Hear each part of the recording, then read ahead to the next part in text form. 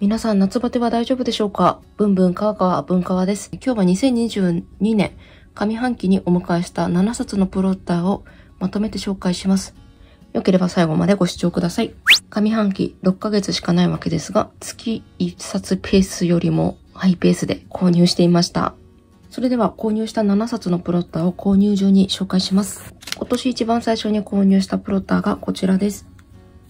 今は亡きホースヘアのプロッターです。色はグレーです。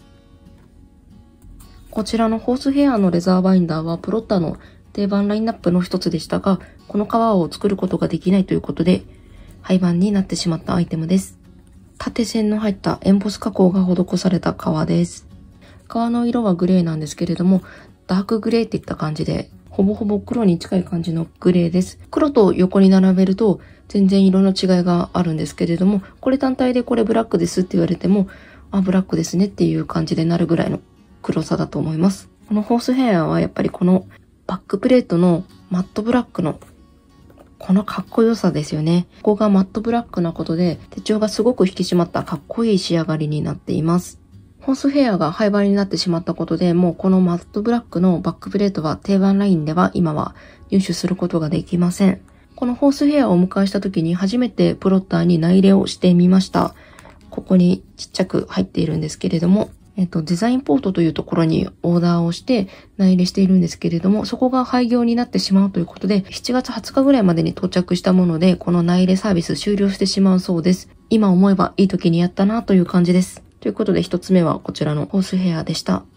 続いてこちらの2冊です。どちらもシュリンクレザーになります。2月にプロッターのライブコマースが開催されまして、そこで登場した限定のレザーバインダーになります。えっ、と、シュリンクのネイビーとシュリンクのホワイトの2色が限定で登場しました。バックプレートはどちらも通常のシュリンクレザーで使われているバックプレートと同じバックプレートになります。こちらのバイブルサイズは通帳ケースとして使っています。こちらちょっと今、ライブ配信に向けた準備で中身変えてしまってるんですけれども、通常はスポーツ観戦の記録として使っている手帳です。この革の表面の色がいつまでも楽しめるっていうのが魅力の一つです。こちら2つともライブコマース限定のレザーバインダーということで、通常とはちょっと異なっていて、通常のシュリンクの価格帯で、レザーバインダー本体に合わせて同じ革で作られた本革リングサポーター、そしてペンホルダーもセットで付いてきました。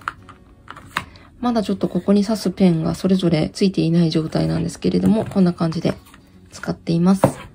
このシュリンクレザー自体がそこまでエイジングを楽しむっていう革ではないので、今のところエイジングもそんなに感じていません。ということで、こちらがライブコマースでお迎えした2冊になります。次にお迎えしたのがこちらです。カラーチャートのプロッターです。こちらも2月にお迎えしています。バイブルサイズで色はブルーミストです。このプロッターは伊東屋さんとのコラボ商品になります。今はもう在庫なくなってしまっているみたいなんですけれども、私もギリギリ最後の1冊でこちらのブルーミストのバイブルサイズをゲットすることができました。伊藤屋さんがオリジナルで出しているカラーチャートという文房具のラインナップがありまして、それと同じ型押しが入った革になります。こちらもシュリンクレザーの一つなんですけれども、こちらがプロッターの一般的なシュリンクと同じ型押しなんですけれども、カラーチャートの型押しとはまた若干異なります。カラーチャートの方がより型押しが細かくて、えっと、ここの表面を触った時に、デコボコがはっきり感じ取れるのは、こちらのプロッターのシュリンク。カラーチャートの方はもう少し滑らかな感じですね。そういった違いがあります。え、こちらも同じように経年変化を楽しむというよりは、この元々の色で長く楽しむというアイテムなので、今のところ大きな変化はありません。このカラーチャートのこのくすんだブルーの色を長く楽しめるっていうのがすごく嬉しいなと思っています。通常のシュリンクで使われているのはアンティークゴールド。そしてカラーチャートの方に入っているのはマットゴールドということで、どちらもゴールド系なんですけれども、このように色の違いがあります。ということで2月はシュリンク系のレザーバインダーを3冊お迎えしてました。3月はプロッターのポップアップが開催されまして、そこで2冊のプロッターをお迎えしました。こちらです。まずこちらの大きい方。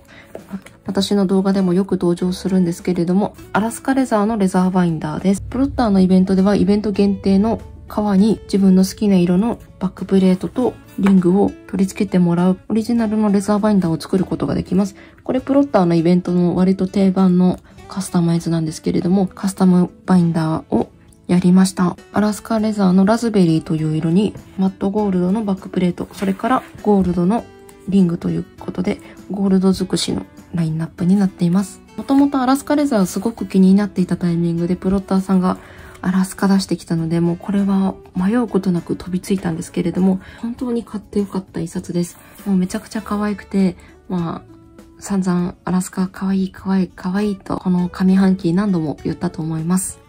もうこのアラスカ可愛い、アラスカいいと何度も言ったので皆さんはもう聞き飽きてるかもしれませんが、本当に本当に大好きな一冊です。色も好きだし可愛いしということで、とにかくこの一冊を手にしてから、アラスカレザーをもっと持ちたいという欲、アラスカレザーをもっと使いたいっていう気持ちがどんどん強くなりました。このアラスカレザーをお迎えした時に一緒にお迎えしたのがこちらです。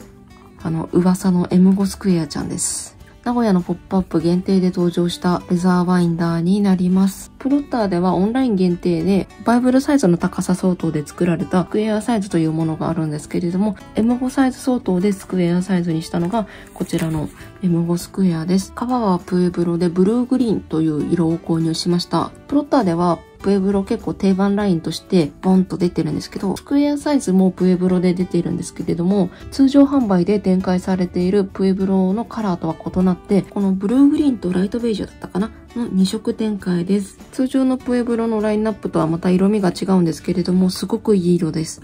まだ再販のお話とかは出てきてないんですけれども、ようやく私も使う踏ん切りがつきましたので、これからちょこちょこ使っていく予定です。ついこの間までは基本的には箱に入れていて、ちょっと触りたくなったら箱から出して触ってまたすぐ戻すみたいな、そんな感じで使っていたんですけれども、これからちょっと手に取る機会とかが増えると思うので、この辺の起毛感のエイジングとかも進んでいくかもしれません。大きい方のスクエアも欲しいと思っているので、同じ色で合わせるのもいいかなと思ったり、でも持ってない方の色を買うのもいいかなと思ったり、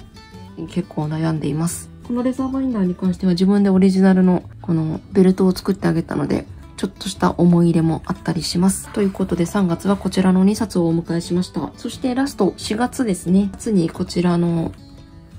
ブライドルさんを購入しました。この間修理に出しますっていう動画を上げたんですけれども、それから戻ってきました。バックプレートはマットシルバーです。プロッターではこのマットシルバーのバックプレートはブライドルレザーでしか使われていません。とても貴重なバックプレートです。このレザーバインダーは購入した時にオンライン限定でできるレーザー内入れを施しています。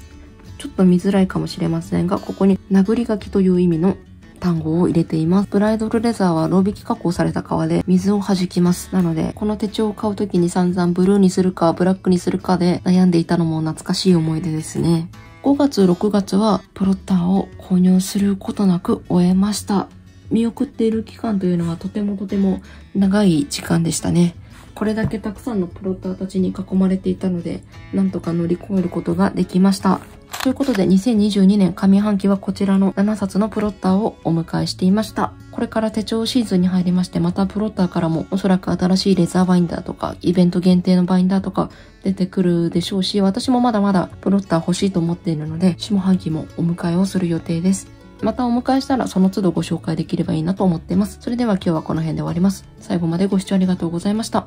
また次の投稿をお楽しみに。